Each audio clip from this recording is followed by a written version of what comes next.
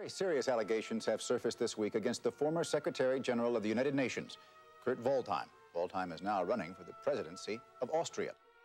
Recently released photographs and documents link Waldheim to two Nazi groups and to a general who was hanged for sending thousands to their deaths in concentration camps. This is the sound of skeletons falling out of the closet.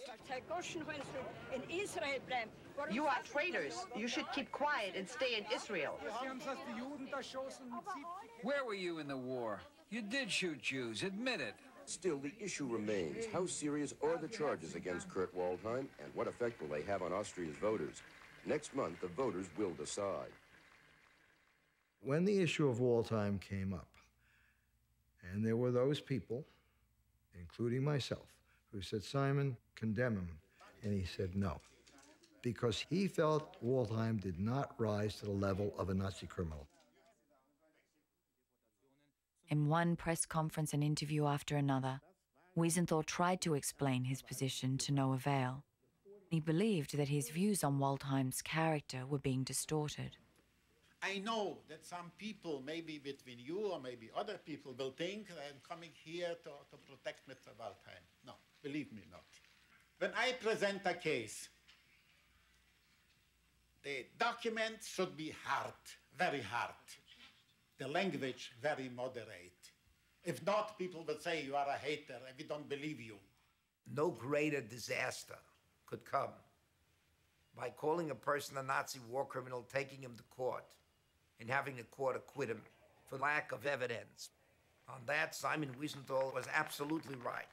But to take no action at all, we felt, was also not appropriate because he was a man who certainly knew better he rose through the ranks to become the Secretary General of the United Nations.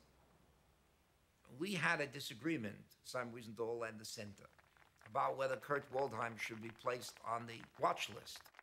Responding to a public outcry in the United States, congressional hearings were held to investigate whether or not Kurt Waldheim should be placed on the so called Nazi watch list, an act that would bar him permanently from the United States based on your findings, is it your view that Dr. Waldheim is in fact guilty of committing war crimes? What we know is that Waldheim is an indicted Nazi war criminal.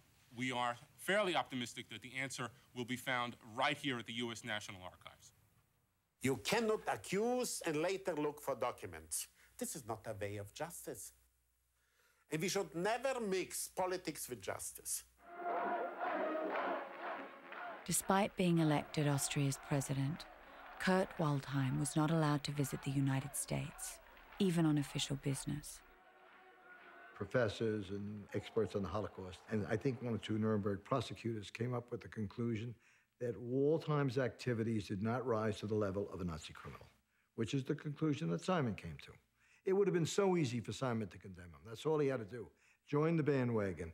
But he said that then I sacrificed everything I stood for.